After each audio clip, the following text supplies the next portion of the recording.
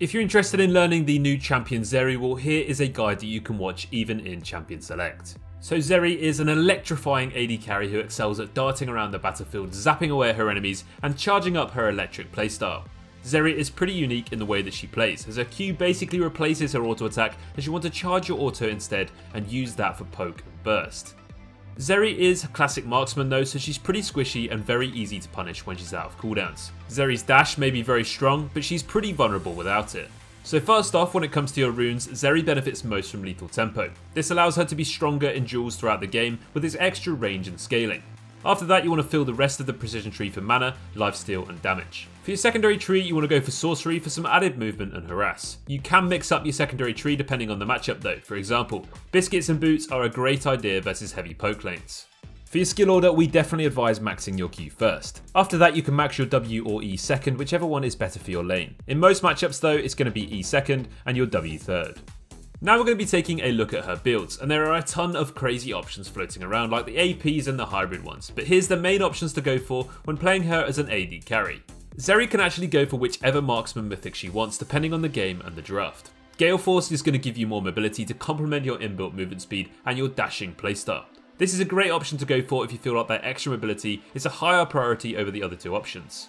Immortal Shield Bow is definitely the safest option to go for though. The lifeline passive shield it gives you can definitely save your life, and the lifesteal it provides greatly increases your sustain throughout all stages of the game.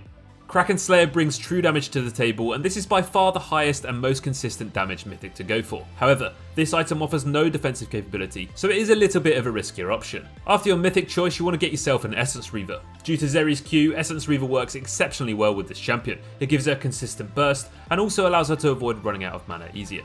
Runaan's Hurricane is simply awesome on this champion. It has amazing synergy with her ultimate, and it also applies the Q to her other targets. You can build your stack so quickly and keep your E on such a low cooldown that you can pretty much kite forever. Infinity Edge is brilliant on any AD carry and Zeri is no exception. Tons of crit damage and you'll melt your enemies upon completing this item. Lord Dominik's Regards is a must-have item for AD carries when your opponents have built any armor whatsoever. We definitely recommend getting this item sooner rather than later or else you may struggle to deal any damage, especially if you get behind. Navori Quick Blades is also a uniquely effective item that reduces the cooldown of Zeri's basic abilities. Your E and your Q cooldowns become so low that it really feels abusable. Don't forget about the situational items too. Guardian Angel is great for its revival passive in teamfights, QSS is a must have if you're against enemies with hard CC, and Bloodthirster is just another solid item to go for, offering huge sustain benefits, as well as an overhealing shield which can actually save your life. So let's cover some matchups now, and against easier lanes you're going to want to look to abuse your enemy by striking them with as many charged up auto attacks as possible, whilst farming and stacking it up with your Q.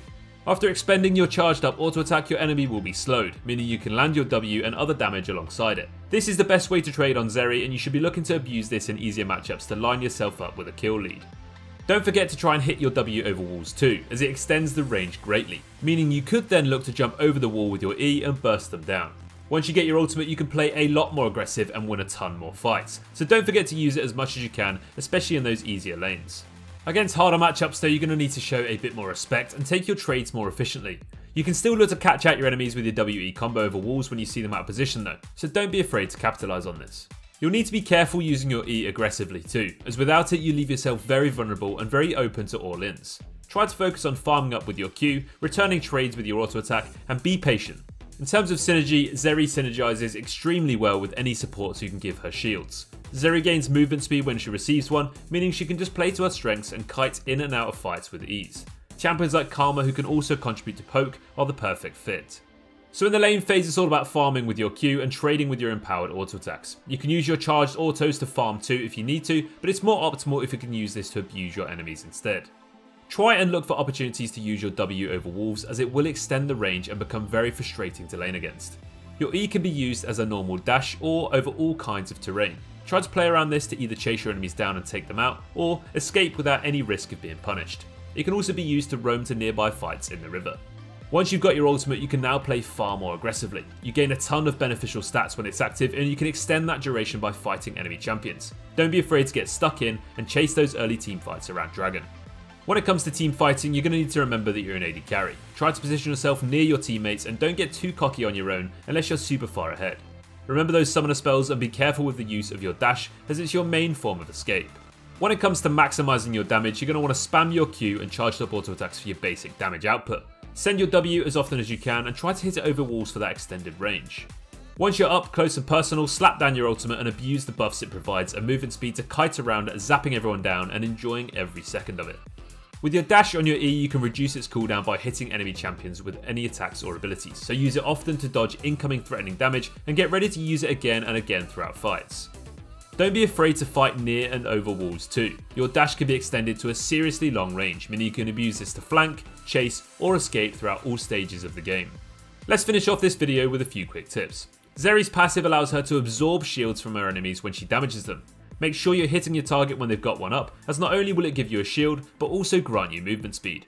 You can use the alcoves and the walls near the river to abuse your W extended pulse range. This is an amazing way to poke throughout the lane phase and also hit your enemy with the slow, which could lead to an all-in opportunity. Zeri's E can be used to get back from base quicker too, so get used to learning the walls which are best for this to help you get back to lane and back to fights easier. Thanks for checking out this short guide all about the new champion Zeri. Have fun and as always, take care.